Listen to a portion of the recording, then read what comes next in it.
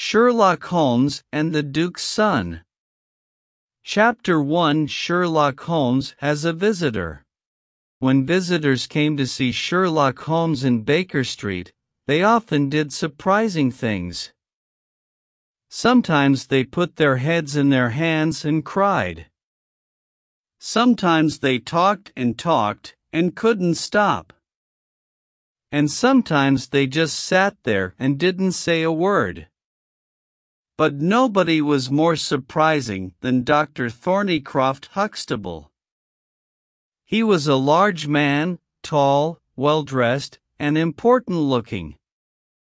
He came into the room, walked to one of the big chairs, and suddenly fell into it. He sat there, with his eyes closed, looking white and ill. I ran to get some water for him. Then I got my doctor's bag and looked at him carefully. What is it, Watson? said Holmes. He's all right, I think, I said. He's just very, very tired, and probably hungry too. Holmes looked in the man's pockets and found a train ticket from Mackleton in the north of England. Mackleton, that's a long way, said Holmes. It's not twelve o'clock yet, so he probably left home before five o'clock this morning. After a minute or two, the man began to move, and his eyes opened. A second later, he got quickly to his feet. His face was now red and unhappy. Mr. Holmes, I am so sorry. I forgot to eat or drink anything this morning, that's why I felt ill. When you feel better, I began. I'm better now, thank you, said our visitor. And I want very much to talk to Mr. Holmes to ask him something. Please, Mr. Holmes, come back to Mackleton with me by the next train. I'm sorry, that's not possible, said Holmes. I'm working on two important cases, the Ferrars case and the Abergavenny case. I cannot leave London at the moment. Important cases, our visitor cried. But this case is very important too. You know about the kidnapping of the son of the Duke of Holdernesse three days ago. What? The government minister? Yes, that's him. So you didn't know. It's not in the newspapers yet, that's true. But Sherlock Holmes always hears news before other people, I thought. Holmes went to get one of his books and began to read the page about the Duke of Holdernesse. Holdernesse, 6th Duke. Wife, Edith, daughter of Lord Grey. One child, Lord Arthur Saltire. Houses in London, Lancashire, and Wales. Government minister for this, for that, for the other. Well, well, said Holmes. He's one of the greatest men in the country. One of the greatest, and one of the richest, said Dr. Huxtable. I know, Mr. Holmes, that you don't work for money, but I must tell you this. The Duke is offering five thousand pounds for news of his son, and another one thousand pounds for the name of his kidnapper. That, said Holmes, is a most interesting offer. He looked at me. Watson, I think we are going with Dr. Huxtable back to the north of England this afternoon. Holmes then looked at Dr. Huxtable. Now, sir, tell me everything. What happened? When did it happen? How did it happen? And why does Dr. Thornycroft Huxtable come to ask for my help three days later? Our visitor drank some water and began his story. Chapter 2 Dr. Huxtable's Story My school, the Priory School near Mackleton, is the best school for young boys in England, began Dr. Huxtable. We have the sons of Lord Soames, Lord Lever, and of many other important people. Three weeks ago, Mr. James Wilder, the Duke of Holdernesse' secretary, came to see me. The Duke, he said, wanted to send his son, the 10 year old Lord Saltire, to my school. On the 1st of May, young Lord Saltire arrived. He's a nice boy, and he soon began to like school life and to make friends. His life at home, you see, was not very happy. We all know about the Duke and his wife. The Duchess, of course, now lives in the south of France. She left the Duke about three months ago, I think. But the boy loved his mother, and was very unhappy when she left. Because of this, the Duke sent him to my school. And after two weeks with us, he was much happier. Then, on the night of the 13th of May, he disappeared. The way to his bedroom is through another, larger room. Two older boys sleep there. One of them never sleeps very well, and he heard and saw nothing that night. So young Arthur did not go out through that room. His window was open, and there is ivy all up the wall of the house. It is easy to get out of the window and down the ivy to the ground. So we think that he went out that way. He was in his usual school things, we think a short black coat and dark blue trousers. We looked all through his room very carefully, but we found nothing strange, Nothing unusual. When I learnt the news at 7 o'clock on Tuesday morning, I called everybody into the big schoolroom. Then we learnt more bad news. Heidegger, the German teacher, was missing too. His room is not far from Arthur's room.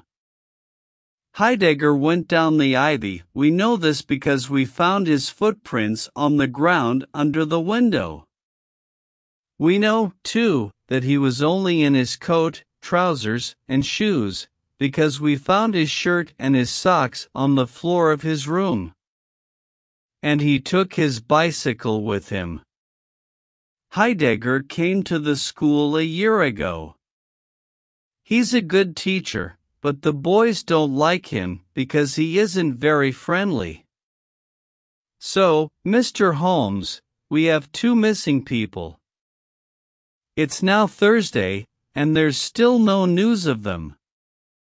Holmes took out a little notebook and began to write things down. The boy didn't go home, of course, he said. No, no. We asked at Holdernesse Hall at once, said Dr. Huxtable.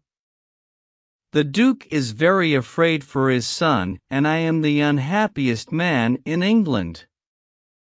Mr. Holmes, you are a famous detective, please help me. You make things very difficult for me, Holmes said. How can I find marks in the ivy or on the ground after three days? Why didn't you come to me at once?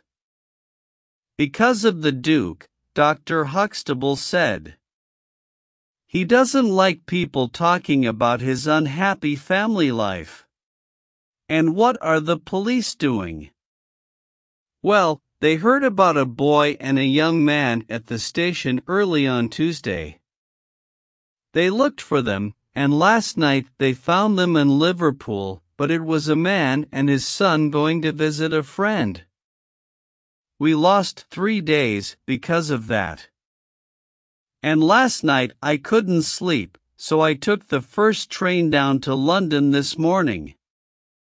Well, Dr. Huxtable, some more questions, said Holmes. Did the boy take German lessons?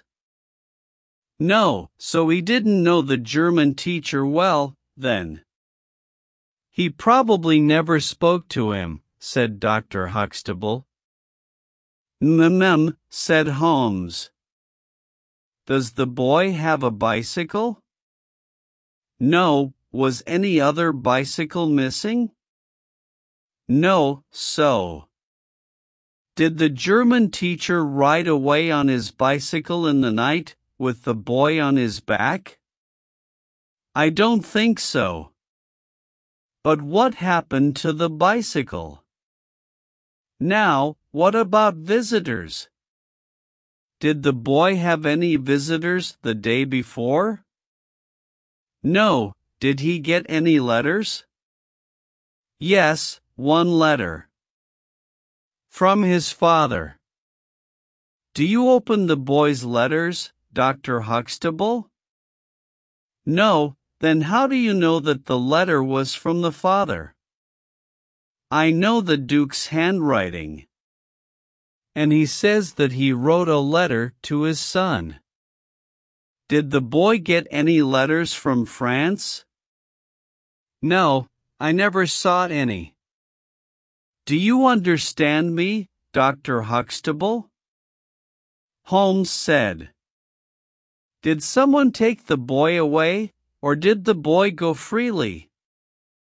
Because he had a letter from France perhaps. I don't know, said Dr. Huxtable. He only had letters from his father, I think. Were father and son very friendly? The Duke is not, er, not a very friendly man, Mr. Holmes. He's not a bad father, but he is a government minister and has a lot of things to do. So the boy felt more friendly to his mother? Yes. Did he say that? No, did the Duke tell you, then? Oh no. The Duke never talks about things like that. So how do you know? Mr. James Wilder, the Duke's secretary, told me. I see, said Holmes. That last letter of the Duke's, where is it now? The boy took it with him, Dr. Huxtable said. It's not in his room. Mr. Holmes, our train leaves in half an hour. Right, said Holmes.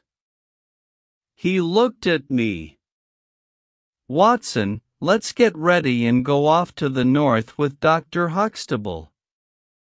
Perhaps we can find some answers to this mystery. Chapter 3 Holmes and Watson Go North. It was dark when we arrived at Dr. Huxtable's famous school in the northern hills. We went quickly into the building out of the cold, and at once someone ran up with news for Dr. Huxtable. He looked very surprised. The Duke is here, he told us. The Duke and Mr. Wilder, his secretary, are in my office. Come and meet them. The government minister was a tall man with a long, thin face. He had red hair and a great red beard. He looked at us and did not smile. Next to him stood Mr. Wilder, a very young man. He was small, with blue eyes and a watchful face. He spoke first. The Duke is surprised, Dr. Huxtable, to see Mr. Sherlock Holmes here. He doesn't want people to know about this. You know that, so why didn't you speak to the Duke before you went to London? But we need help, said Dr. Huxtable. And I well, said the Duke. Mr. Holmes is here now, and perhaps he can help us. He looked at Holmes. I'd like you to come and stay at Holdernesse Hall, Mr. Holmes. Thank you, sir, said Holmes. But I would like to stay near to the mystery, here at the school. Can I ask you one or two questions, perhaps? Of course, said the Duke. My questions are about the Duchess, and about money, said Holmes. The Duchess knows nothing about this, said the Duke, and nobody is asking me for money. I see, said Holmes. You wrote a letter to your son before he disappeared. When did you post it? Post it, said Mr. Wilder angrily. The Duke does not post letters. I put the letter into the post bag, with all the other letters that day. A minute or two later the Duke and Mr. Wilder left. Holmes then began at once to work on the case.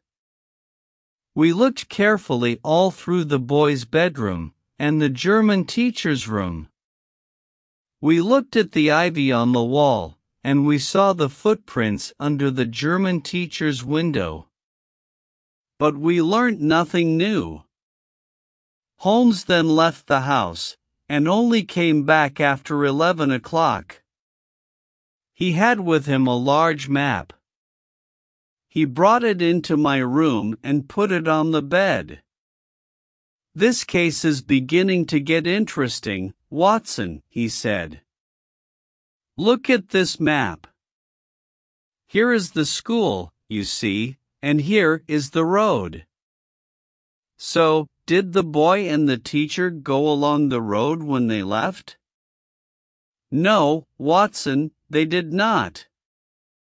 How do you know that? Holmes? I asked. Because there was a policeman here, look. He was there from midnight to six in the morning, and he saw nobody on the road. I spoke to him this evening. And here at the other end, you see, is the White Horse Inn. A woman there was ill, and the family watched the road all night, waiting for the doctor. The doctor didn't come until the morning, and the family saw nobody on the road.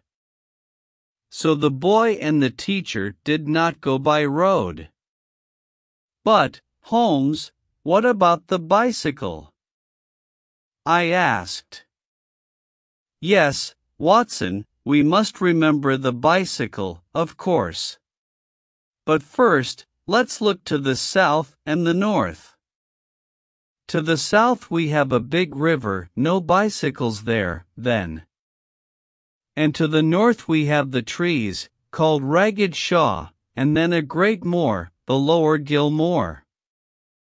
And here is Holdernesse Hall, 16 kilometers from the school by road, but only 9 kilometers across the moor. No other houses until the Green Man Inn along the Chesterfield Road. But the bicycle? I said again. Yes, yes, Watson. Holmes said. It is possible to ride a bicycle across the moor difficult, but possible. Just then Dr. Huxtable came quickly into the room. News, Mr. Holmes, he said excitedly. I bring news. In his hands was a blue school hat. Look, this is the boy's hat. One of my gardeners found it this evening. Where, man, where? asked Holmes. Just north of Ragged Shaw, said Dr. Huxtable. Aha, said Holmes. What did I tell you, Watson? Tomorrow we must walk north, across the moor. Chapter 4 The Body on the Moor. Very early the next morning I opened my eyes and saw Holmes next to my bed. He was already dressed. Come, Watson, he cried. There is hot coffee ready for you. We leave in ten minutes. By six o'clock we were through Ragged Shaw, and half an hour later we were on Lower Gill Moor. Across the middle of the moor was a small river, and the ground all around it was very wet. We can easily see tracks in this wet ground, said Holmes. Look carefully, Watson. We moved slowly across the moor, looking at every centimeter of mud.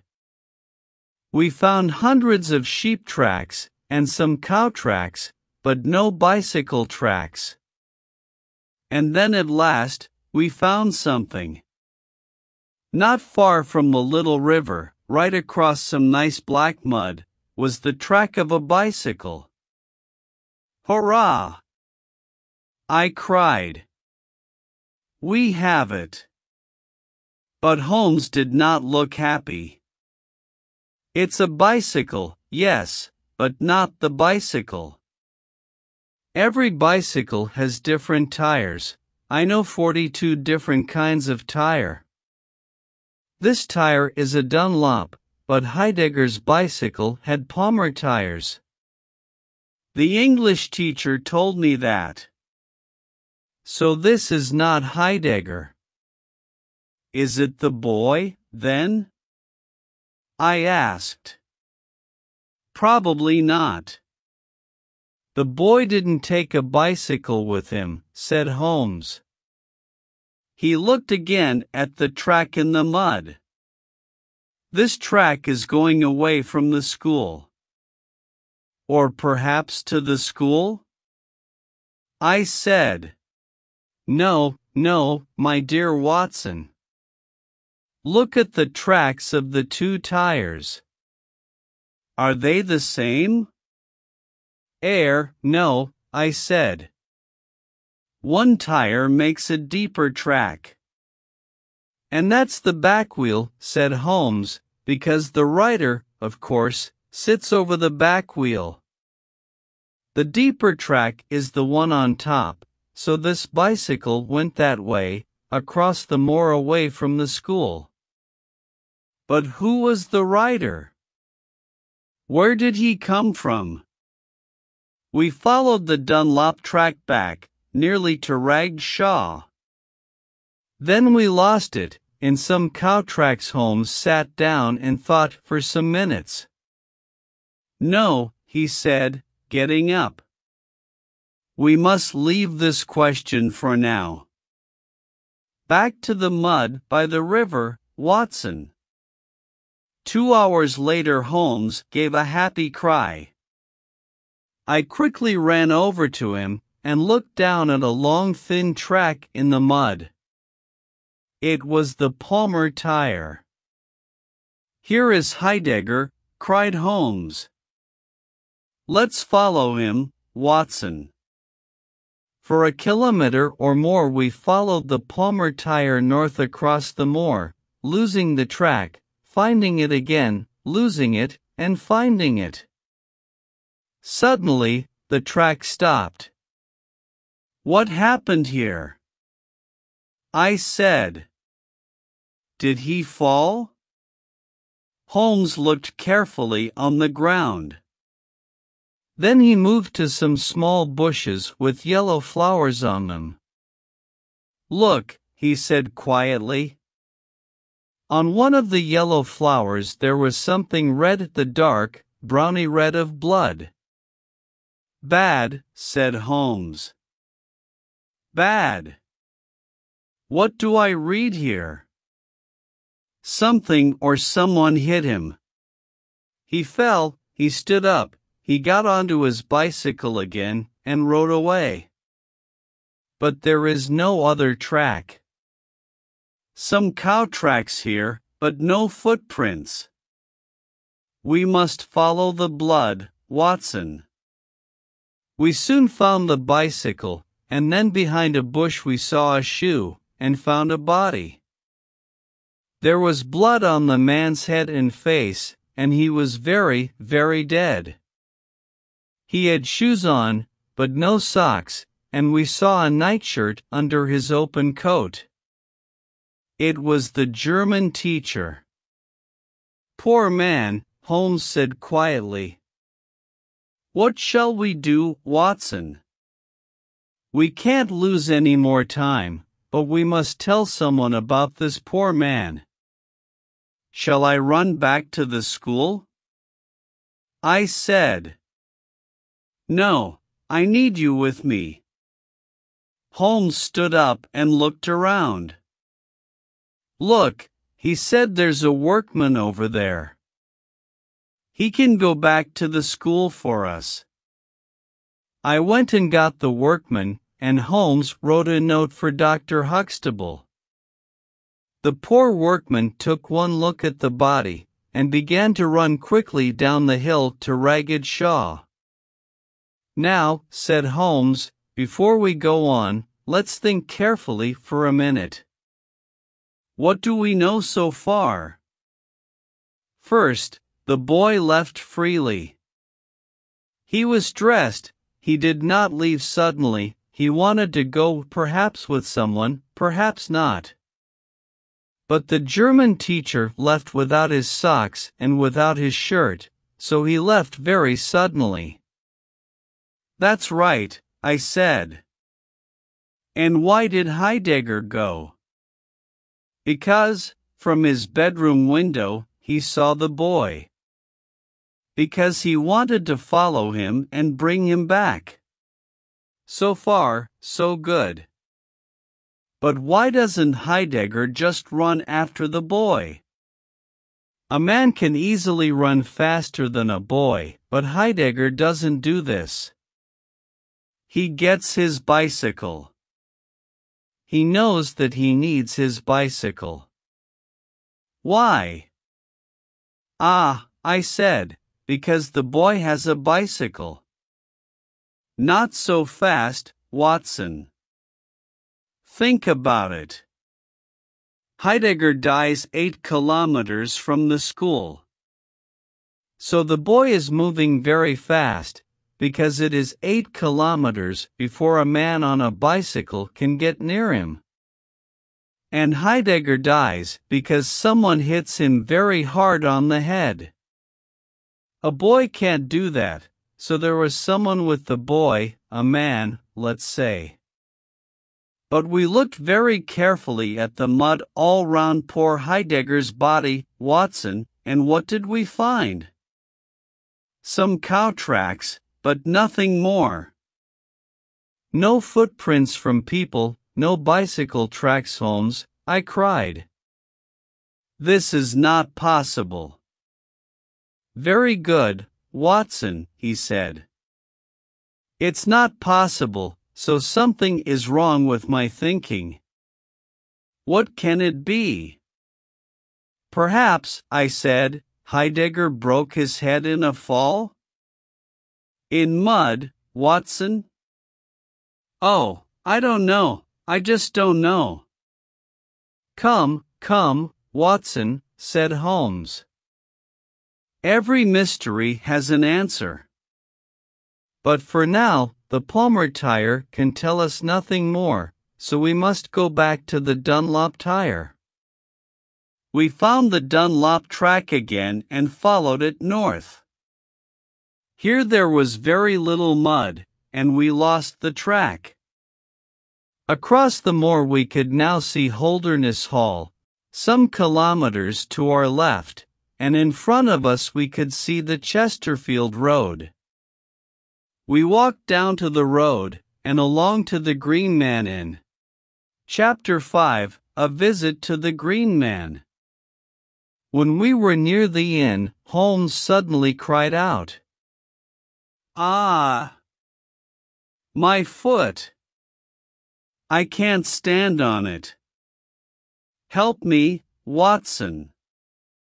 I took his arm, and we walked slowly to the door of the inn. A man stood there, smoking, and watching us. How are you, Mr. Reuben Hayes? said Holmes. Who are you, and how do you know my name? said the man. He looked very unfriendly. Because it's on the door of the inn, over your head, said Holmes. But can you help me, Mr. Hayes? No, I can't. But I need help. I can't put my foot to the ground. Well, don't put it to the ground. Holmes smiled. Look, he said. It's very important, and I can offer you a pound for the use of a bicycle. Where do you want to go? asked Mr. Hayes. To Holdernesse Hall. Oh, friends of the Duke, are you? Mr. Hayes laughed, looking at our muddy shoes and trousers. Holmes laughed too. Well, we are bringing him news of his lost son, he said. The boy is in Liverpool. Mr. Hayes's face went white, then red. Oh, he said carefully. That's, er, that's good news. I worked for the Duke once, but he wasn't good to me. I don't like him, but I'm pleased about the boy. We all went into the inn. Now, said Holmes, something to eat first, please. Then you can bring round the bicycle. I haven't got a bicycle, said Mr. Hayes. Holmes put a pound on the table. I tell you, man, that I haven't got a bicycle. You can have two horses to take you to the hall. He brought us something to eat, and we ate hungrily. Through the window we could see the stables at the back of the inn. Once Holmes got up and walked round the room, then stood, looking out of the window at the stables. Surprisingly, his foot was now very much better. Suddenly he laughed, and looked at me. I've got it, he cried. Yes, of course that's it. Watson, did you see any cow tracks today? Yes, I said. Lots of them. Everywhere. And how many cows did you see on the moor? I don't remember any, I said. Isn't that strange, Watson? Lots of cow tracks, but no cows? And do you remember those tracks, Watson? He took out his notebook.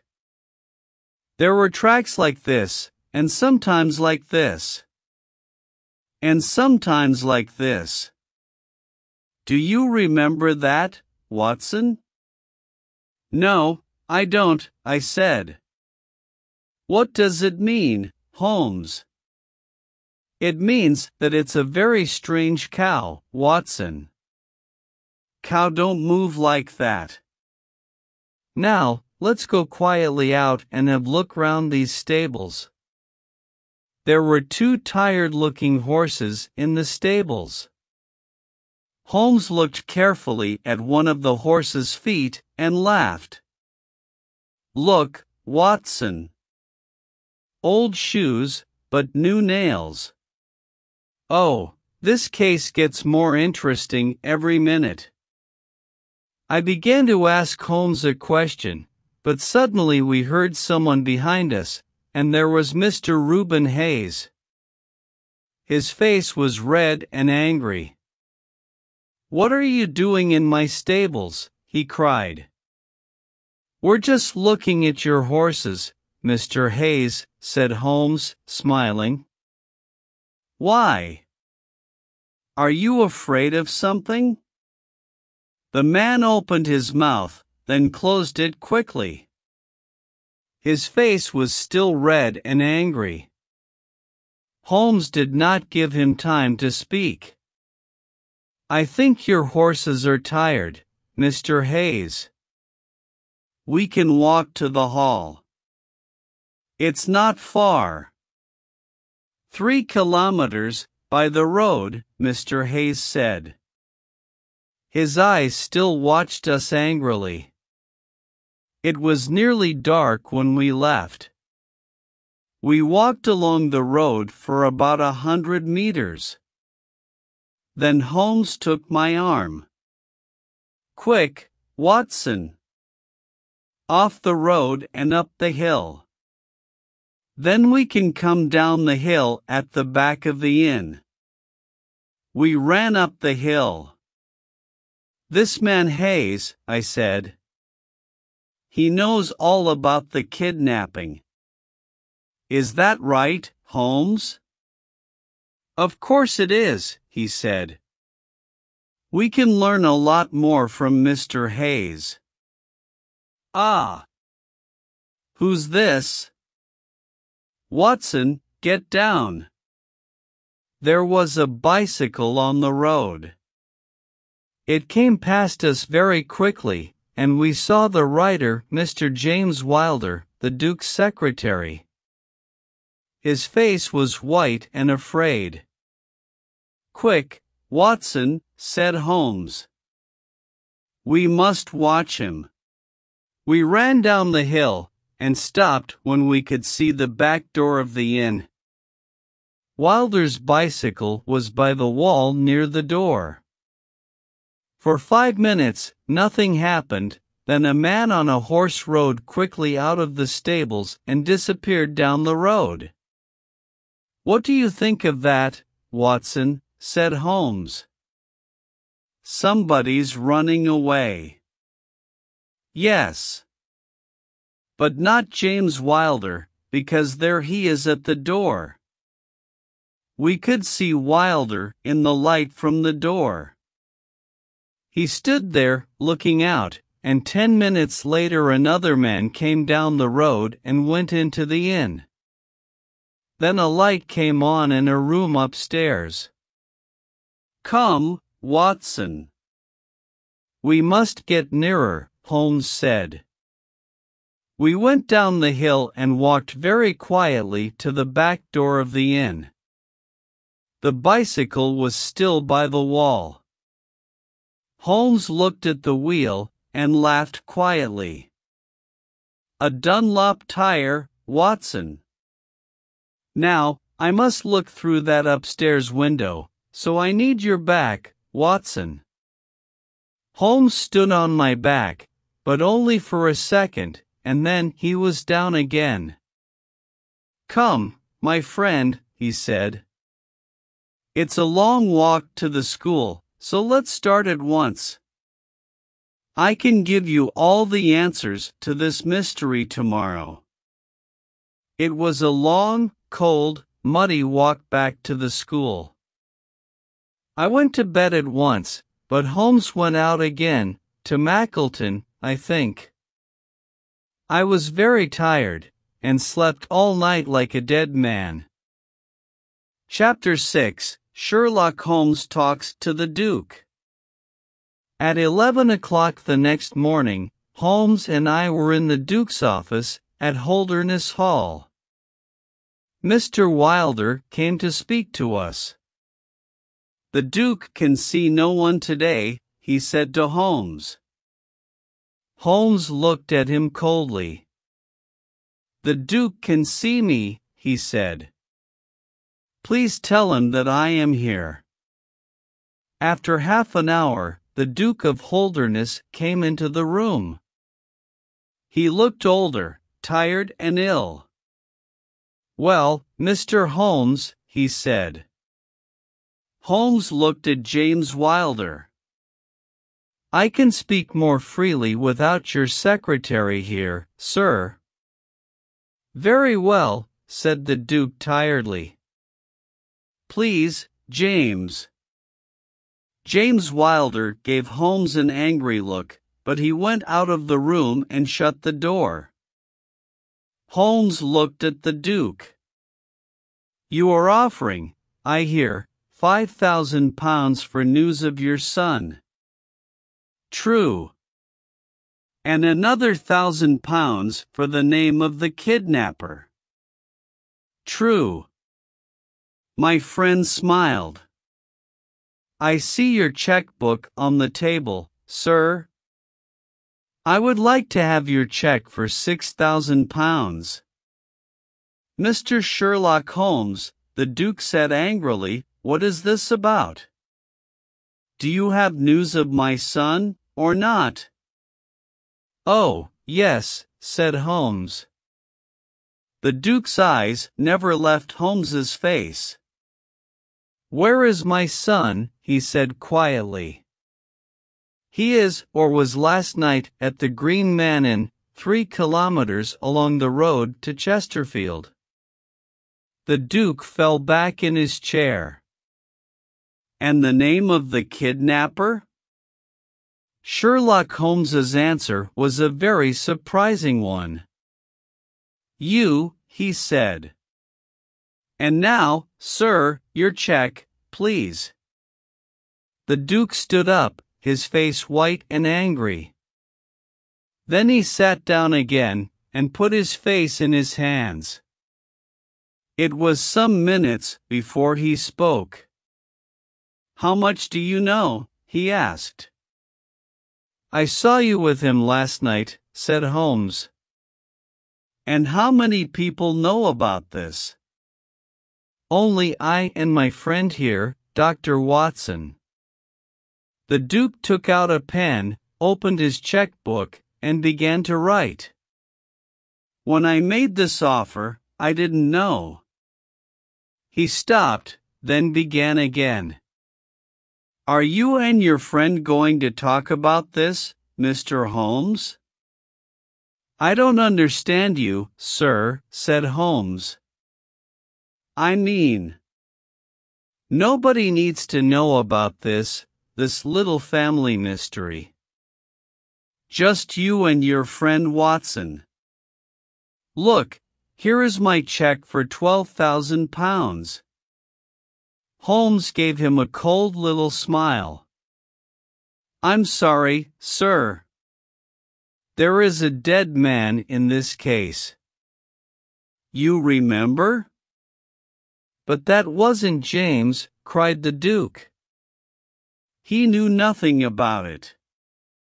He was very, very unhappy when he heard about the, the killing. Murder, said Holmes. But James wasn't there. And when he heard about it, he came to me at once and told me everything. Oh, Mr. Holmes, you must help him, you must. He is not the murderer. The murderer ran away last night. Holmes smiled again. I have a little more news for you, sir. The police met Mr. Reuben Hayes last night at Chesterfield Station. Mr. Hayes is not running anywhere for a very long time. The Duke looked at Holmes with an open mouth. You, you know everything, he said. But I am pleased to hear about Hayes, he was always a bad man. And that news can only help James. James? Your secretary, said Holmes. No, sir. My son. James Wilder is my son. Chapter 7 The Duke's Son. When the Duke said this, I was very surprised, but Holmes was surprised too. This is news to me, he said. Can you tell me more? The Duke stood up and walked round the room for a minute. I must tell you everything, he said. I didn't want to talk about it, but I must. I see that now. He sat down again and began his story. When I was a young man, Mr. Holmes, I was in love, oh, so much in love. It only happens to you once, and this woman was the love of my life. I wanted her to be my wife, but she died. She left me this one child, and I loved him because of her. When I look in his face, I see her, and remember her, and can't stop loving her. I must have the boy near me because of this. But a government minister cannot tell the world about a love child like this. So, to the world, James is my young secretary, not my son. He knows that I am his father. He hates the Duchess because she is not his mother. And he hates my younger son, Arthur, because Arthur has everything. Arthur has a name, a famous father, houses, money, everything. James has nothing. Well, he has some money, of course, but he is just Mr. James Wilder, and he wants to be the Duke of Holdernesse one day. That's not possible, of course, but James can't understand that. And so, you see, I was afraid for Arthur, and that's why I sent him to Dr. Huxtable's school. And what does James do next? He kidnaps my poor Arthur. It changes nothing, but James can't see that. He wants me to say, Yes, James, now you can be my first son, you can have everything. Arthur can be the number two son. But I can't do that, of course I can't. James knew this man Hayes, you see, because Hayes worked for me once. James asked for Hayes's help, and the man was happy to do it. You remember my letter to Arthur on that last day? Well, James opened the letter and put in a note from him. That evening he cycled across the moor and met Arthur in Ragged Shaw. He talked about the Duchess, Arthur's mother. She wants to see you, he told Arthur. She's waiting on the moor. Come back at midnight, and a man with a horse can take you to her. Of course, poor Arthur wanted to see his mother, so he came. Hayes was there with two horses, and they rode across the moor. But the German teacher followed them, and Hayes killed him.